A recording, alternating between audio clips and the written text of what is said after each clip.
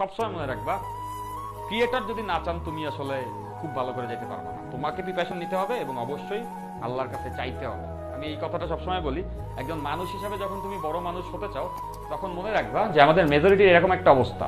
আমরা সবসময় মানে নিজেকে ফোকাস করতে চাই যে আমি অনেক বড় আমি অনেক ভালো স্টুডেন্ট এটা কখনোই করবা না। যারা এরকম করে তারা বেসিক্যালি কীরকম জানো?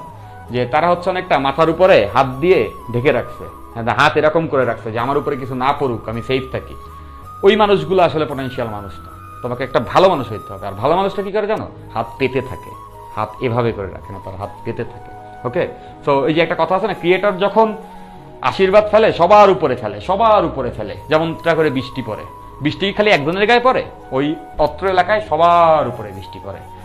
বাট ওই বৃষ্টিতে কিছু মানুষ ছাতা ধরে হাঁটে, আর কিছু মানুষ হাত পেতে রাখে। এবং যে হাত পেতে রাখে, তার হাতেই আসলে আশীর্বাদ পড়ে। তা আল্লাহর কাছে চাইতে হবে তুমি যদি ছাতা মাথায় থাকো তাহলে বৃষ্টির পানি তোমার ভিতরে ঢুকবে না। তোমাকে হাত পেতে থাকতে হবে। তো কি এটার কাছে চাইতে হবে